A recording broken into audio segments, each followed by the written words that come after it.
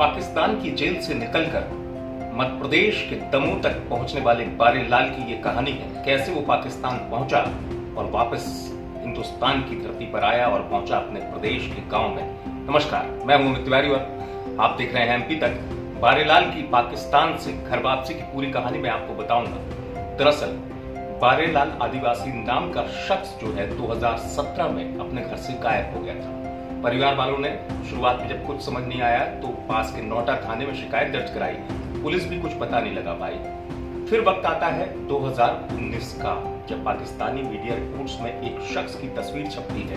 वो तस्वीर बारेलाल की तस्वीर थी। बारेलाल की तस्वीर के तौर पर उसकी पहचान होती है और उसके बाद शुरू होती है बारेलाल की रिहाई की कोशिशें।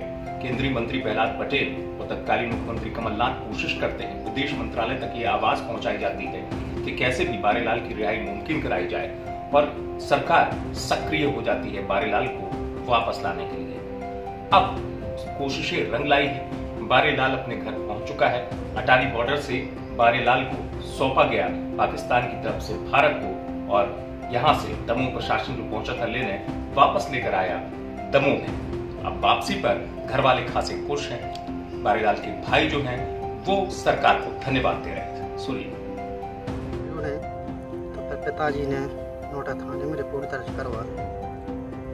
तीन साल के बाद 2019 दिसंबर महीना में पता चलो पुलिस के ज़रिए कि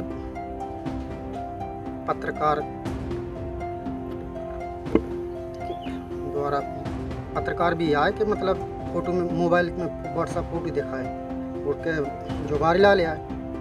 तो घर को ने भी मतलब पहचान करी कि हाँ बारीलाल आया मोहल्ला वालों ने भी फ़ोटो देखी क्या हो कि जो तो बाहर बारीलाल आया फिर अब 2021 में कार्रवाई चालू रही। हमने मतलब स्थायी जाति भी थाने में नहीं स्थायी जाति देवे के बाद में जून में थाने से होना हम आए थे कि अपन अमृतसर चल रहे हैं। तो चलो ठीक है। दो दिन में ट्रेन से पहुँच गए अमृतसर। अमृतसर पहुँचने के बाद में पंजाब चौकी गए होते, पुलिस वाली भी थी साथ में एक तो उनके ज़रिए और भारत सरकार के ज़रिए हमारा भाई आज अपने दमोह ज़िले और मध्य प्रदेश में है, जो इस और भारत सरकार का मेरा बहुत बहुत बड़ा आभार है मेरे ऊपर। वहीं इस मामले को लेकर जो ज़िले के एसपी हैं, वो भी बताते हैं कि कैसे पता चला और कैसे जो रिहाई है, वो मुमकिन हुई और कैसा ये सफ़र था, वापसी का। सुनिए। थाना नोटा क्षेत्रांतर्गत ग्राम है पट्टी सिसपुर यहाँ का एक बारेलाल आदिवासी नाम का युवक है, जिसकी उम्र करीब 40 वर्ष है। यह मानसिक रूप से थोड़ा अर्धविकसित था और नवंबर 2019 में यह यहाँ से पाकिस्तान चला गया था। तस समय उसकी काफ़ी सर्चिंग की गई थी और बड़ा हाईलाइटेड मुद्दा रहा था। बाद में पता चला कि पाकिस्तान चला गया था तो भारत सरकार के प्रयासों से और जो निरंतर जो कार्रवाई की गई है तो अपेक्षित कार्रवाई के उपरांत ये वापस बाघा बॉर्डर पर आया था। हमें अभी हाल ही सूचना प्राप्त हुई थी कि ये पाकिस्तान से बाघा बॉर्डर वापस आ गया है नियमानुसार कार्रवाई के उपरांत। उसके परिजनों को सूचित किया गया।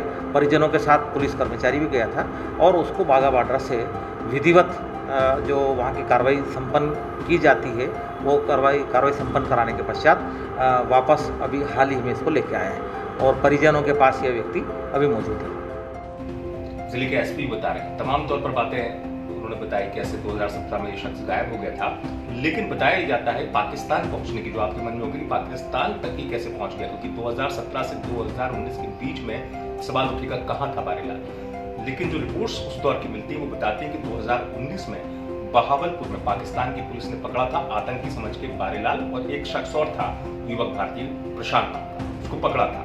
शुरुआत में पाकिस्तान की पुलिस ने आतंकवादी समझा, लेकिन बारीलाल की मानसिक हालत खराब थी। तो बाद में ये समझ में आ गया था कि ये आतंकी नहीं है। उसके बाद जो कोशिशें शुरू हुई, भारत सरकार ने जो कोशिशें की और ये कोशिशें अब रंग लाई है। तीस महीने बाद आखिरकार बारेलाल अपनी धरती पर वापस आया।